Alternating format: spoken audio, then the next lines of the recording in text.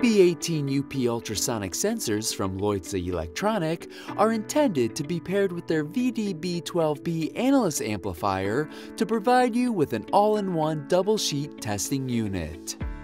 These ultrasonic sensors help monitor incoming paper sheets and can detect and signal double sheets during sheet feeder operations. You can reliably detect paper, plastic, and metal foils with these sensors, with a measurement detection range of 20 grams M2 airmail paper to 1200 grams M2 homogeneous cardboard. With metallic housing and an end sensing type, the DB18UP Ultrasonic have M8 connectors allowing for simple and fast connections to the VDB12B analysis amplifier. For more information on the DB18 UP ultrasonic sensors from Leuze Electronic, visit us at galco.com. And don't forget to like and subscribe to Galco TV so you can be notified when new videos are posted every week.